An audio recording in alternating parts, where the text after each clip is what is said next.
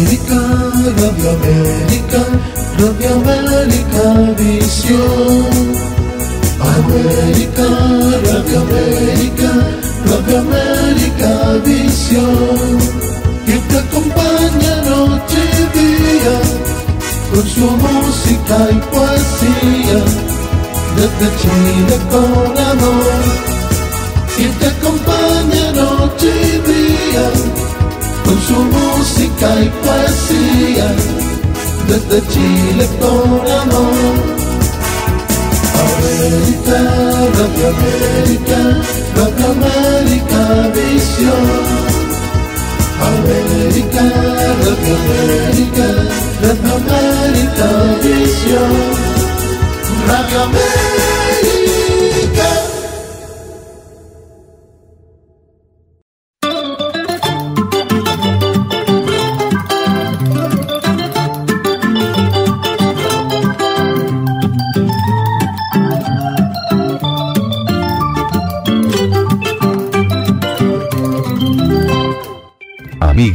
Y amigos de Radio Satélite Visión y Americavisión. Con gran placer, presentamos la franja cultural, llamada La Poesía y el Cine. Programa producido y conducido por el señor Héctor Alindor Marreros Vázquez. Director de cine, historiador y escritor de Perú. Bienvenido y éxitos. Vamos al aire.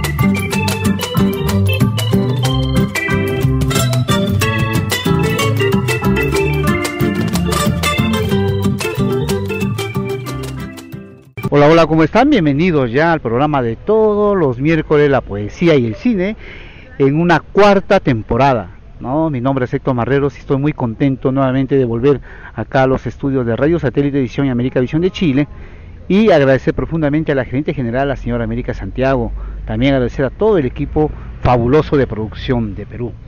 En este año 2024 eh, tenemos eh, eh, una cartera de lujo de invitados, ¿no? Y vamos a empezar por la ciudad de los carnavales. Vamos a encontrarnos con Isabel Barrantes, la poeta cajamarquina, ya la temporada anterior también nos deleitó con una gran entrevista, ¿no? Entonces quedan cordialmente a sintonizarnos todos los miércoles a la hora que indique la emisora. Bueno, ¿cómo está Socorrito después de mucho tiempo? Volvemos a encontrarnos sí, después de mucho tiempo, todavía felizmente este, con vida, que es, que es como un suspiro la vida, ¿no? Este, y saludarlos tanto al hermano pueblo de Chile, que ahora está sufriendo, creo, los embates de la naturaleza, que ojalá encuentre la fuerza suficiente para superar estas dificultades tan dolorosas y también saludar a nuestro pueblo de Cajamarca que ahora está pues en una euforia terrible por nuestros carnavales. Entonces esperamos estar con ustedes y que sea de su agrado. Bueno, en esta gran entrevista con nuestra invitada, la poeta y escritora cajamarquina Socorro Barrantes, vamos a abrir el programa con uno de sus grandes poemas. bueno, este poema es de mi del último librito que he sacado que se llama Morir en Cajamarca y que básicamente habla de la subjetividad de nuestro Inca, ¿no? Porque siempre se lo ha juzgado como un personaje, como este que fue destruida nuestra cultura acá. Pero ¿qué es lo que sentía Atahualpa en, en sí en esos momentos tan duros? Entonces me puse, digamos, como dice, decimos en la tierra, me puse en su pellejo para ver esos sentimientos que durante todo el tiempo que sufrió eh, detenido, ¿no? Este, él iba reflexionando. Este es un saludo a Gabriel García Márquez, ¿no? que se llama Tristeza desde Cajamarca. El son de las aguas transparente lleva las calamidades del invierno en la puna alta de la sierra. Sabanales, capulinegro, armonía de los dioses. Las polleras de las mujeres encienden mariposas de todos los colores bajo las entrañas. Cuentan las andanzas del Puma, de Yapa, de Quilla, del Diosinti, Catequil, en el Hanampacha. Dioses milenarios bebiendo su gracia en el espejismo de la luna. Bajan conmovidos sabiendo que Aracataca entierra en sus adentros al escribidor del realismo mágico tan ligado a nuestras sangres. Sus flores amarillas llegaron hasta el Ande, encendieron sus letras cantando la historia de contando la historia de Macondo. El coronel no tiene quien le escriba, el general en su laberinto, el amor en los tiempos del cólera. En el Ucupacha arden sus cenizas traídas en el pico de los quindes, en la pollera negra blanca de las chinas lindas. Los Andes doblan los clarines, una lluvia de cantutas cantan el adiós resucitado. Muy hermoso ¿eh? en esta nueva edición, ¿no? Esto está incluido y es un homenaje a Gabriel García Márquez. Este poema sí, es un, como digo, y siempre hago a veces en mis escritos como un diálogo entre las culturas o entre nuestros países, entre nuestras sangres, ¿no? Y creo que Gabriel García Márquez, como digo, es uno de los que hablan sobre el realismo mágico que nosotros estamos tan ligados, ¿no? Veo que siempre hay, nosotros eh, creemos en las almas, creemos en el más allá, creemos que hay señales de la naturaleza, ¿no? Entonces, este es un homenaje que, que lo hice hace tiempo ya en homenaje a la, cuando falleció Gabriel García Márquez. Socorro, ¿cuándo nace la idea de hacer esta nueva publicación donde tiene este espectacular poema en homenaje a Gabo? Sí. Bueno, este, creo que desde que estudiamos, somos estudiantes en el colegio, nos hablan del Inca eh, Atahualpa como que fue vencido, ¿no? y, y, realmente, bueno, la, la, historia pues nos han contado a veces muy mm, de manera un poco imaginaria y a veces la realidad misma, los sentires profundos de, de cada personalidad que hizo la historia son difíciles de entender cuando solamente se describe, bueno, nació en tal sitio y nada más. Entonces yo me puse a pensar desde niña, después de adolescente y luego ya ahora en mi edad, ya de la tercera edad más, más concreticé lo, lo que sentía Atahualpa en esos momentos tan duros de que caía su imperio, él veía caer a su imperio, sin embargo, este, estaba también su vida, ¿no? O sea, no solamente miraba su pueblo, nada, sino temía por su vida.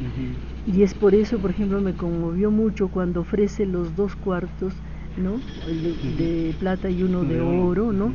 Básicamente para salvar su vida, ¿no? Entonces yo digo, yo me pongo y digo, yo hubiese reaccionado así, hubiese dicho no, que si quieren ellos que vayan y busquen el oro. Yo no tengo por qué hacer facilitarles todavía después de que están explotando nuestras riquezas, todavía les voy a dar ya todo junto, ¿no? Entonces eso me hizo pensar en que él es un ser humano, era un ser humano que no era como digo, casi siempre nos hacían ver a los incas como divinidades, no como pero son eran seres humanos con sentimientos, con cosas buenas, con limitaciones, ¿no? Entonces, pienso que eso para él no fue fácil, ¿no? Porque en vez de desmoronarse a su pueblo, ver que en la plaza de Cajamarca morían hombres y mujeres, niños, ¿no? Que habían caído en una trampa porque él no pensaba que un puñado de, extranjeros. No, no hubiesen hecho lo que lo terrible que entonces no sé qué pasó en nuestra América porque no solo en Cajamarca es también en México no es en Centroamérica que todos esos grandes líderes valientes que habían destruido campamentos y habían conquistado cayeron ante un puñado de míseros españoles que estaban ávidos solo del dinero, ¿no? Y destruyeron. Y lo que más me, daba cólera era cómo los españoles vinieron a hablar en nombre de Dios, de un Dios que, que según nuestras creencias es un Dios de amor, que lo mejor para mí, lo que mejor nos dejó Jesús es su doctrina, ¿no? Y en base a esa doctrina podemos ser buenos o malos porque está casi todo. Hay algunas cosas que supongo faltan, pero en los diez mandamientos, por ejemplo, está el, cuidado, el, respeto a los demás, el cuidado a la naturaleza, el amor, etcétera, al prójimo, ¿no? Está resumidos en eso muchas cosas. Y como en nombre de esa doctrina de amor, ellos dijeron, no, Dios indica que ustedes no creen en Él, por lo tanto hay que exterminarlo, la exterminación de las idolatrías, ¿no? Ellos tenían sus dioses, todos fueron arrasados Felizmente las cosas eh, buenas que trajeron, que también trajeron cosas buenas, eran los santos, ¿no? Y reemplazaron un poco al puma, al jaguar, a la serpiente con los santos. Entonces tenemos los santitos en cada pueblo, en cada lugar, en cada barrio. Tienen su santito como que, es parte del realismo mágico, ¿no? Y en base a eso dije voy a escribir desde esta visión subjetiva de Atahualpa. Ah, este, pero ¿qué contiene esta nueva edición? Aparte de este homenaje a Gabriel García Márquez, eh, ¿qué más podemos encontrar en esta nueva publicación tuya? Bueno, tiene cinco partes, si mal no recuerdo, tiene cinco partes. Una parte está dedicada mayormente a las reflexiones que hace Atahualpa sobre, sobre su vida, sobre su eh, el haber estado encadenado en todos esos avatares. Luego tenemos también algunas relaciones que existen con otros lugares, con otros pueblos, ¿no? Una tercera parte es que la mujer fue una cosa muy importante para mí, siempre es que la mujer ha caminado siempre junto al hombre en la historia, sino que ha sido invisibilizada y que felizmente ahora está saliendo, está expresando su voz, su sentir, sus emociones y sus hechos, ¿no? Y otra, la otra parte es este, una visión ya un poco más positiva de, la vida, el que podrá resurgir una nuevo, un nuevo amanecer, ¿no? que como dice esta leyenda de Incarrí, ¿no? esos huesos desperdigados se volverán a juntar. Vemos que un título muy bonito de esta, de esta nueva edición, Morir en Cajamarca, ¿no? muy atractivo. ¿no? ¿A qué se debe el título?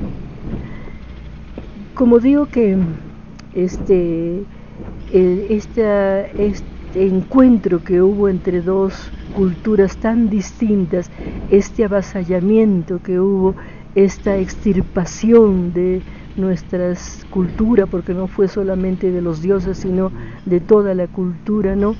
Es, como digo, que no es una muerte sola, la de Atahualpa, sino es una muerte de nuestro imperio, de nuestra cultura andina en Cajamarca. Y morir en Cajamarca porque cuando sembramos una semilla, la enterramos y vuelve a resurgir en una planta hermosa.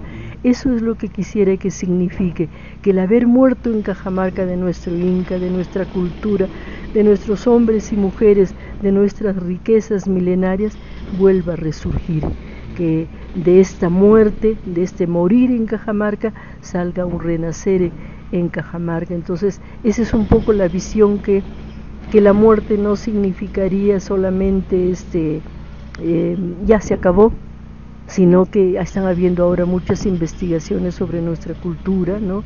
Se están rescatando, este, por ejemplo ahora nomás creo que acá están en, lo que era de las niñas de huerfanitas, se están descubriendo mm, las expresiones culturales, ¿no? tanto andinas como también de cuando vinieron los conquistadores, ¿no?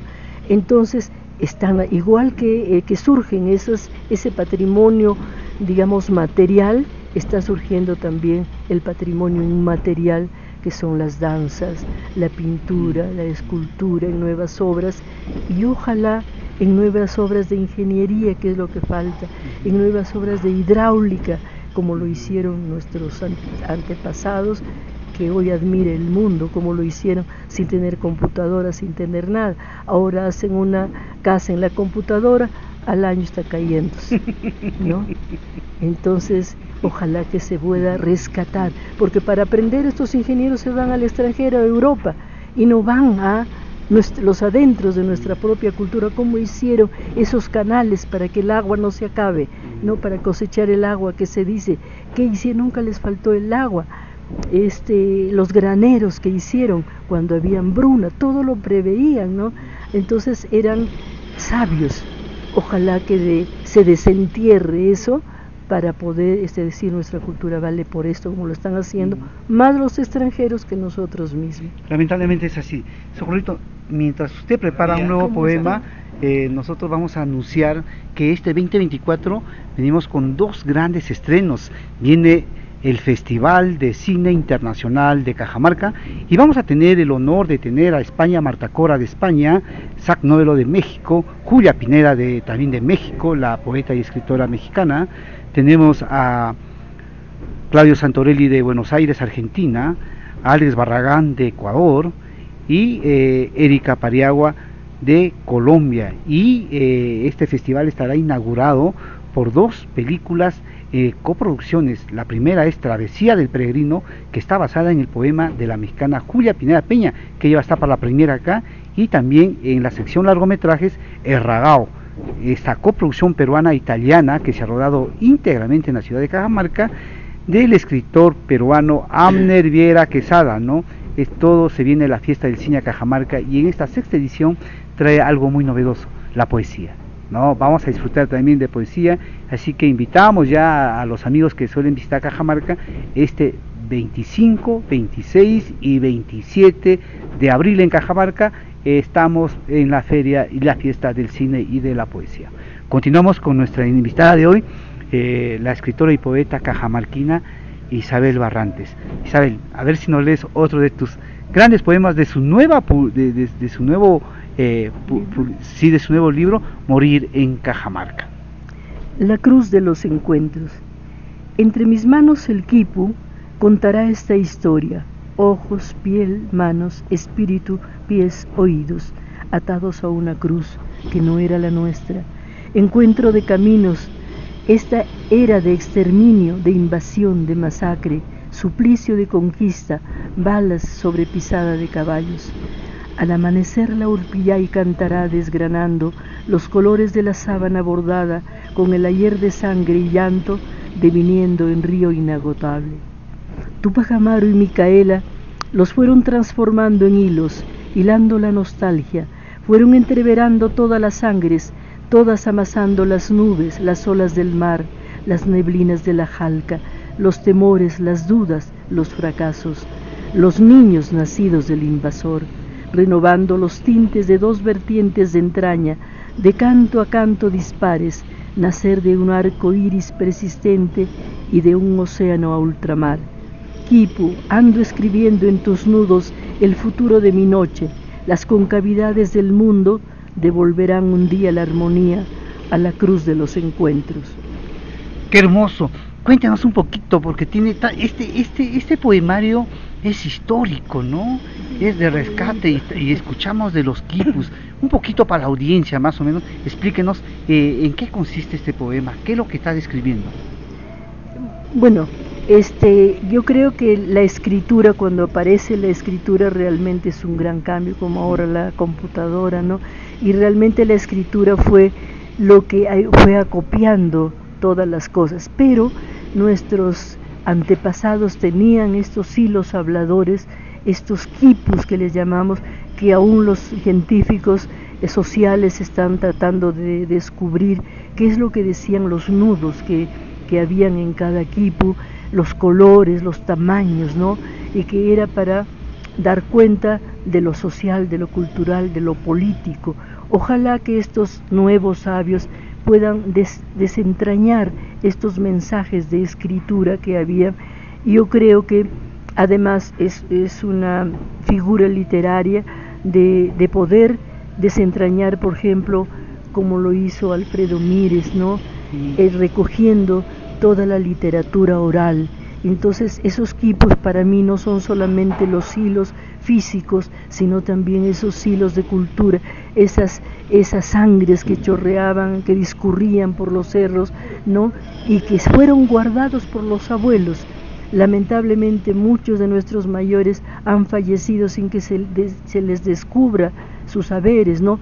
Pero felizmente este, han habido, como Alfredo Mírez, como tantos otros estudiosos, que han ido recogiendo, por ejemplo, la, tanto la literatura como los tintes naturales, como la forma de hacer las herramientas, cómo manejar este mejor el medio ambiente. Entonces, esto va quedando felizmente ahora ya en escritura, ¿no?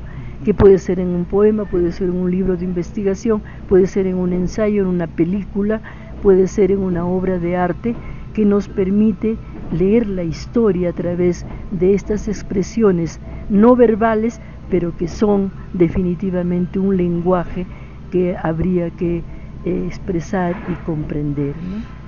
Socorro, yo te admiro mucho y quise empezar esta nueva temporada allá en Chile con el programa La Poesía del Cine porque tiene un gran sentido, tiene muchas figuras tan importantes Estoy que tus poemas, hablar de Tupac Amaru, hablar de Micaela Bastidas, ya es todo un logro, esto revalorar nuestra historia, revalorar nuestra cultura. ¿no?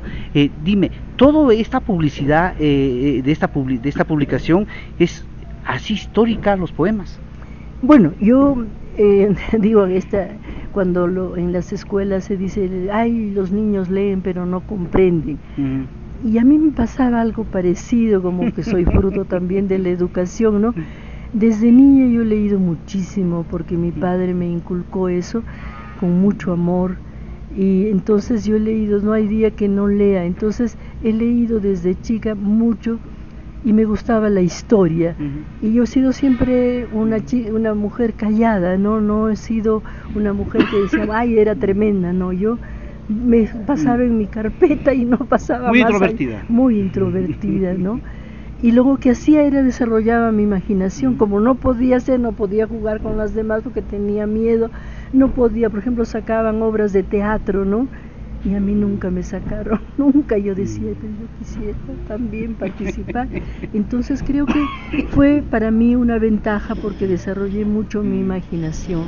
Entonces al leer los libros de historia que he leído muchísimo sobre eh, esta historia dolorosa nuestra, ¿no? de diferentes autores, a José María Rigueras, que es una mm. fuente inagotable, ¿no? César Vallejo, que es otro personaje que como dice él siente el dolor que pasa cada rato, ¿no? Entonces igual Octavio Paz también mucho me han y María Rostorowski, ¿no? Este las, las escritoras ah, Magda Portales. Entonces, yo he leído esos, esos libros, los libros de mi padre, y todos esos supongo me iban sensibilizando en lo que pasaba lo que escribe el padre de las casas, ¿no? Mm. Eh, la pintura de, mm, de nuestro, se me fue el nombre que pintaba todo lo que sucedió en la conquista, ¿no? Entonces todas esas cosas he leído tanto de, de nuestra cultura andina, de, la, de cuando vino el exterminio, de nuestra cultura este luego ya colonial y también de la republicana, ¿no? Jorge Basadri cree que es otra de los luminarias de esto, Ciro Alegría y todos, entonces todas esas cosas me han ido, digamos, instruyendo, pero al, pero yo no decía, pero lo estoy leyendo, pero no, no entiendo, no comprendo. Y entonces tal vez esa comprensión está en los poemas, ¿no?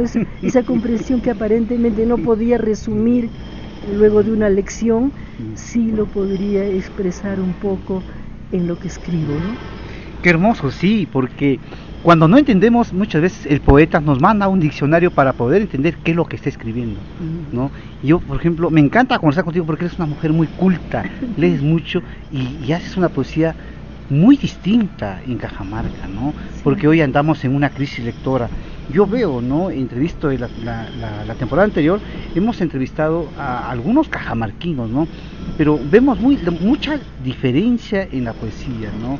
O sea, no solo mm. sensibilizar, sino que comprender lo que está transmitiendo el poeta. Y también creo que lo, una fuente muy buena para mí ha sido que he trabajado mucho con el pueblo, ¿no? Claro. Entonces, por ejemplo, cuando eh, había la izquierda, que ahora está completamente desunida y ha cambiado de parecer, ¿no? Los amigos, los compañeros grandes, eh, luchadores, ahora son empresarios mm, que ya no les importa mucho el pueblo, ¿no? Se fueron. Entonces, pero eso me sensibilizó también muchísimo, el comprender. Anita de la Torre es una amiga antropóloga que me enseñó a mirar los saberes de nuestro pueblo, ¿no? Como también le conté que era, soy maestra rural, entonces miraba y siempre estoy observando, entonces eso, comprender cómo los niños, por ejemplo, les dicen estos niños son desnutridos y este realmente no desarrolla su inteligencia. ¿Por qué? Porque no saben sumar, restar o multiplicar, pero sin embargo ahora vemos por ejemplo, los, las profesiones, ¿no?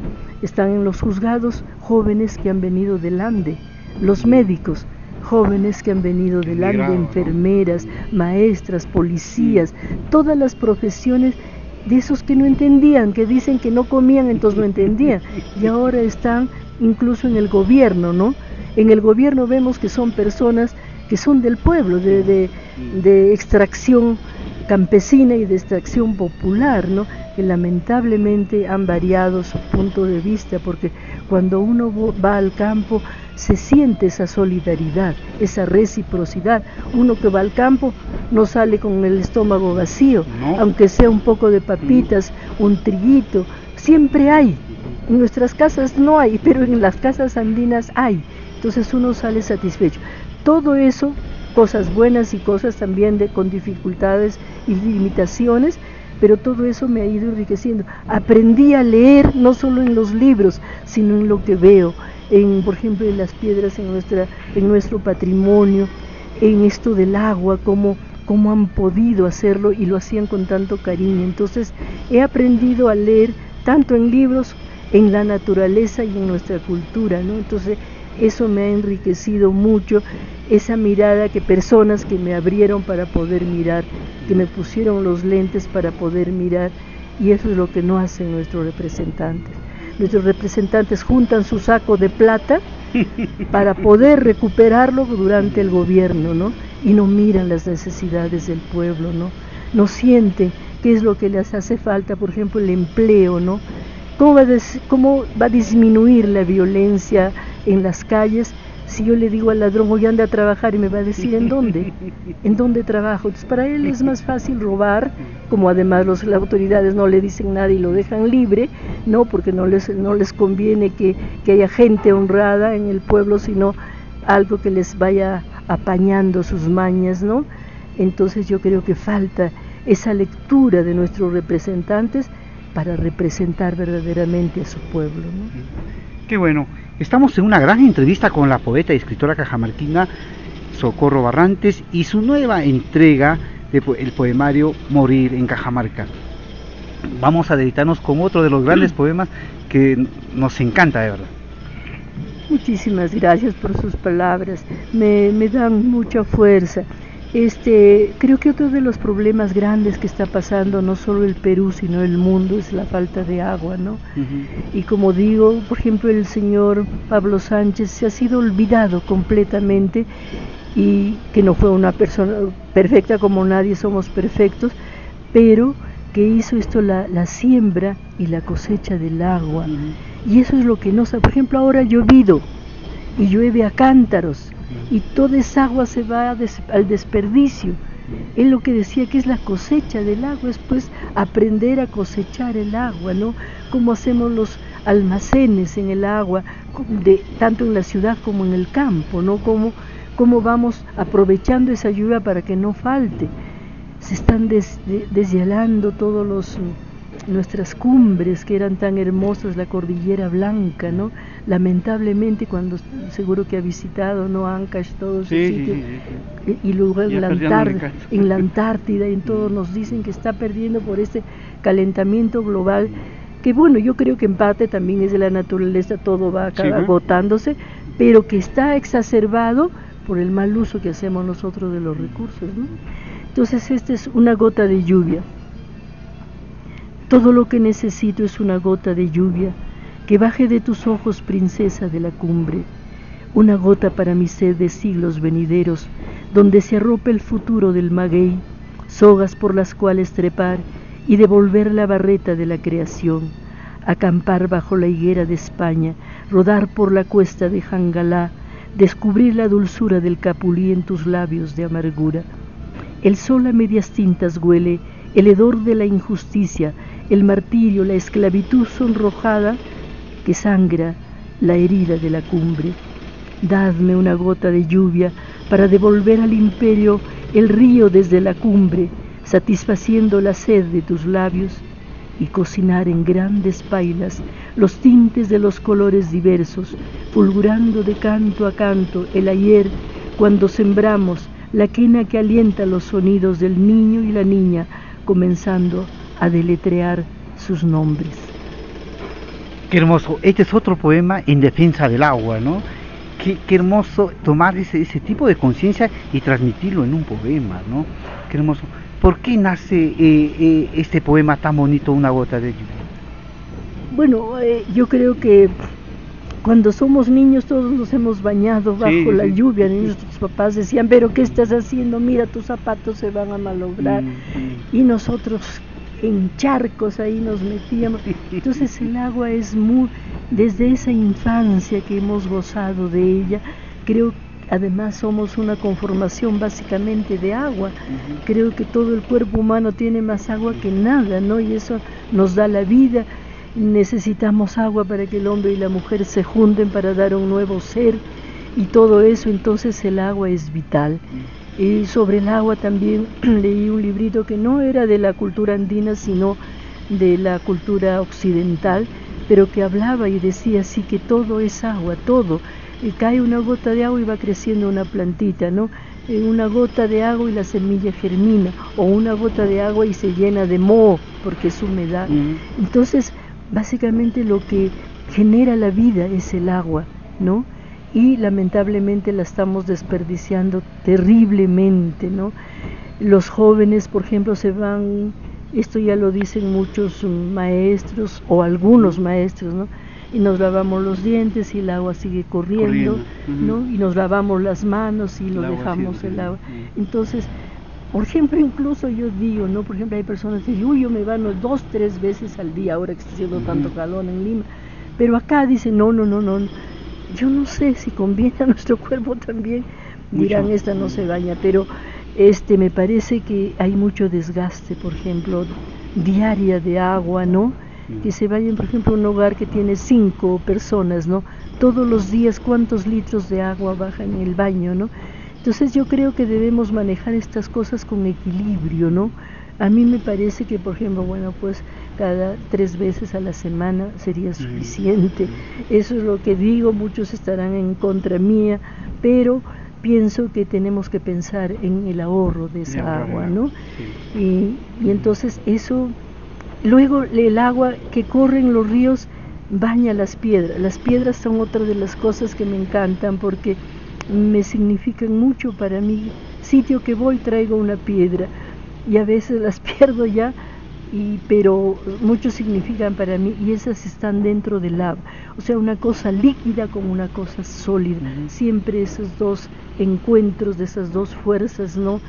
Que los chinos creo llaman el yang y el yin, no nosotros el, el yana creo que es negro con el blanco, que no recuerdo ahora cuál es, cuál es en quechua la, la palabra. Entonces siempre hay dos contrarios. Entonces, y las piedras son las que hacen los edificios, las casas, el hogar, ¿no? Que pueden hacer los muros, que lamentablemente ahora ya los hacen de cemento, pero antes eran unas pircas sin usar cemento, ¿no? Y la piedra, este, se las ponía. Ahora la piedra la hacen y la hacen cemento. Y verá usted que ya no hay, ya no hay piedras en el río casi, porque todas las están utilizando para las construcciones y están sacando de nuestros cerros todas las piedras que son los colchones de agua, porque no solo la minería, también son esas eh, que están sacando ahora todos los grandes empresarios de la vivienda, ¿no? Toditos están depredando los cerros, toditos, porque incluso hay una ley que dice donde hay bosque no debería de, de talarse esos bosques, se debería más bien alimentar ese bosque, porque son los que producen la lluvia, precisamente el Mm. agua, ¿no? Y no, eso ya no hay. Todito ese cerro que va por el Gavilán, todito está siendo extraído de material para esto, porque en el río ya no hay ni arena, ya lo agotaron, ya no hay ni arena, ni piedras grandes, entonces tienen que sacar de los cerros. Entonces, como digo, tenemos que tener esa cultura de respeto, no solamente al agua, sino lo que favorece el agua.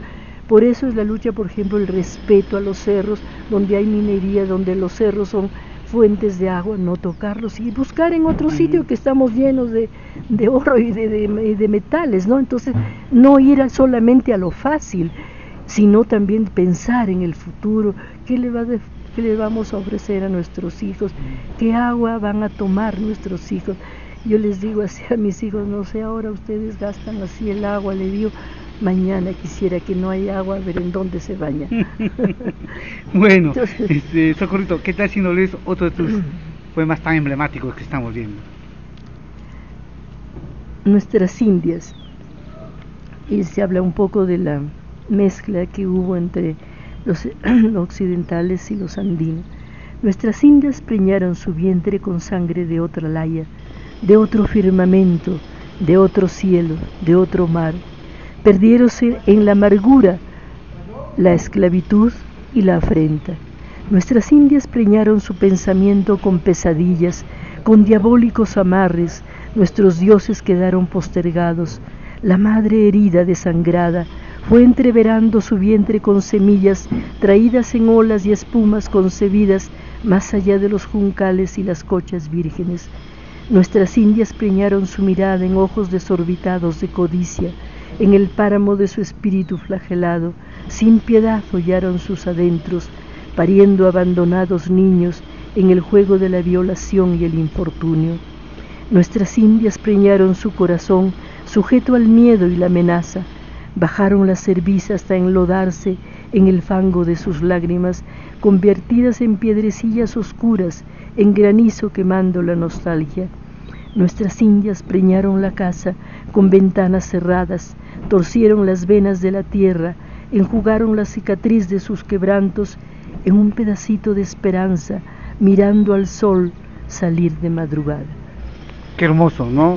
Este es estas hermosuras, ¿no? De, de, las indias. Cuéntanos un poquito la trama de este poema. Este, bueno, también otro de los temas que han sido para mí muy queridos es el, el que las mujeres tengamos derechos, que gocemos de esos derechos, ¿no? Entonces, una parte de mi vida también ha sido la lucha por que las mujeres conquisten sus derechos y cuando hemos leído, pues como repito, estos libros, vemos los, los hombres violaban a las mujeres sin que les quitaban, los mandaban a sus, a sus esposos, los mandaban a las guerras, ¿no?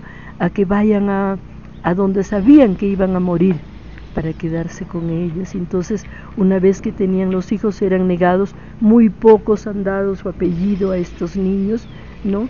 Y los niños eran los nuevos sirvientes, los nuevos este, trabajadores en las haciendas.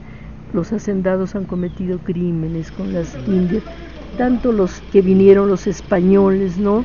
Como digo, las indias las tomaban, no necesitaban pedirle, quizás los hombres un poco enfrentaban, pero las mujeres se dejaban, ¿no? Y bueno, hubo pues la ya la mezcla de nuestras sangres, ¿no?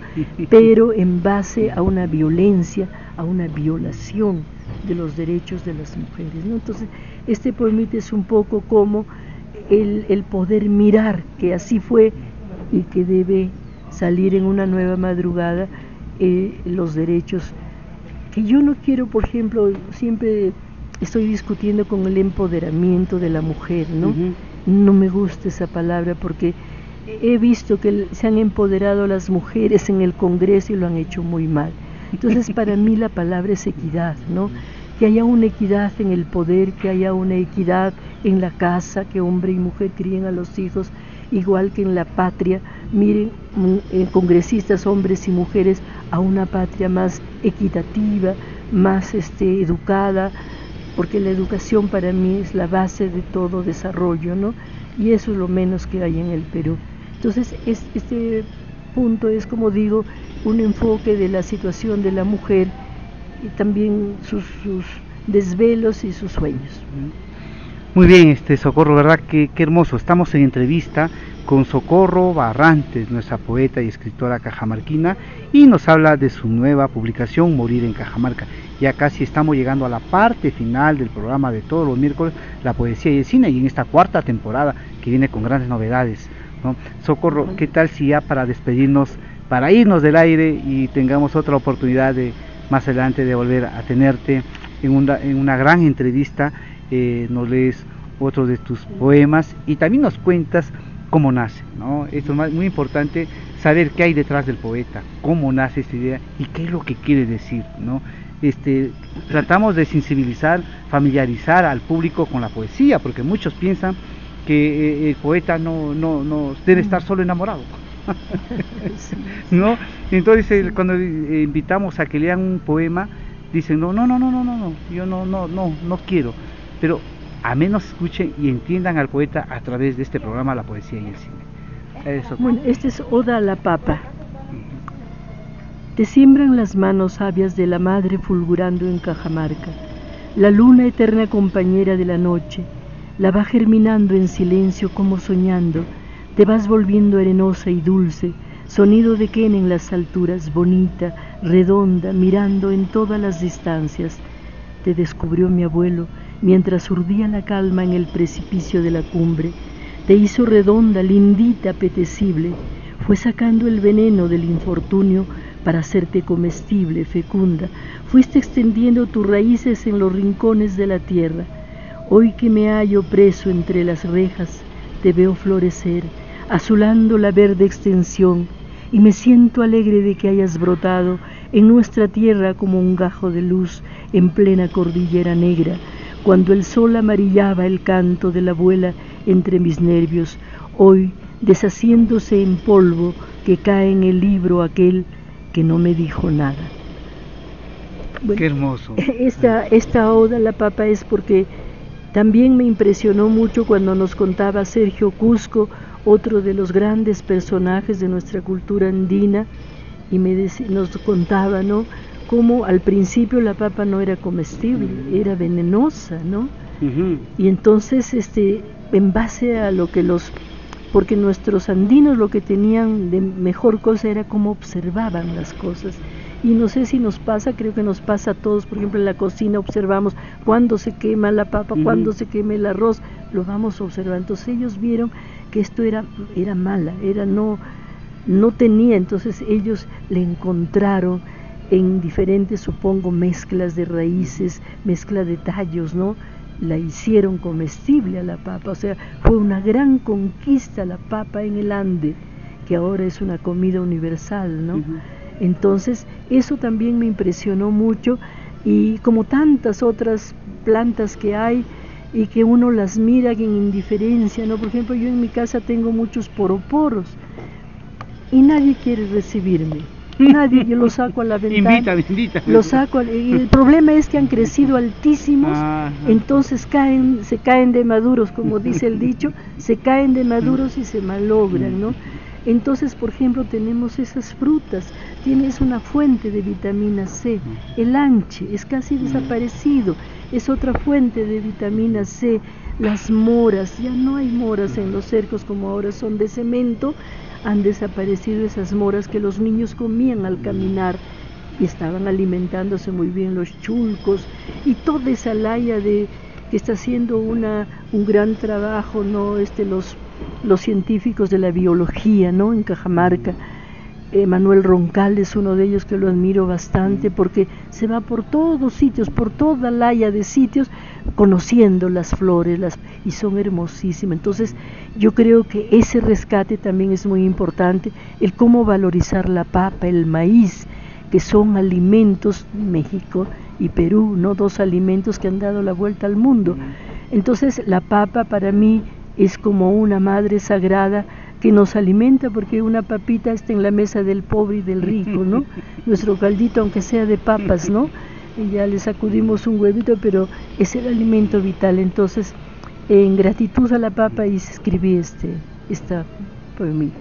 Qué hermoso, de verdad. Eh, estimados oyentes de Radio Satélite Edición y América Visión, hemos tenido una gran entrevista con la cajamarquina Socorro Barrantes, ¿no? Nos presenta su último poemario, Morir en Cajamarca, ya lo escucharon, esto es un lujo, por favor, ¿no? Qué hermosura.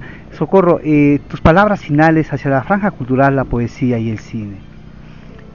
Bueno, yo quiero despedirme nuevamente de este pueblo chileno que tanto Chile como Perú siempre están golpeados por estos sismos, ¿no? Entonces, ojalá que se descubra también la posibilidad de construir de repente casas, de cosas que al caerse no sean tan mortales, ¿no? sino que como se está mejorando las condiciones de vida y la computadora y la inteligencia artificial nos puede decir las casas deben ser así en lugares sísmicos, ¿no? Entonces a nuestro pueblo de Chile quiero estar con ellos en estos momentos de dolor y de poesía, que ojalá les les quede algo de lo que hemos conversado esta mañana, que debemos tener respeto a esa naturaleza, pero de hecho, no solo de poema o de, de lección, sino que yo tenga que respetar, tenga que cuidar una plantita, tenga que sembrar un árbol, porque ese da oxígeno y da agua, ¿no? Y a los jóvenes también que puedan investigar más sobre nuestros recursos, sobre nuestra historia, y que además del amor, que es muy importante y vital, porque el amor también es otra de las fuerzas que mueve la vida, pero también puedan este, construir juntos una sociedad diferente, que es la que queremos, y esté en las manos de los jóvenes, de los niños, que ojalá en base a los saberes de los abuelos, de nosotros los mayores que hoy estamos, puedan aprender a hacer cosas más importantes y buenas con la inteligencia artificial y sobre todo con la humanidad de su corazón. Muchísimas gracias, Socorro. Y bueno, estimados oyentes, conmigo será el próximo miércoles en que venga con un nuevo invitado. Gracias a nombre de Radio Satélite Visión y América Visión de Chile y de la gerente general de la Bellísima América Santiago y asimismo de todo el equipo de producción de Perú. Esto ha sido todo por hoy. Eh, no bajen la guardia, cuídense y hasta la próxima edición. Chau, chau.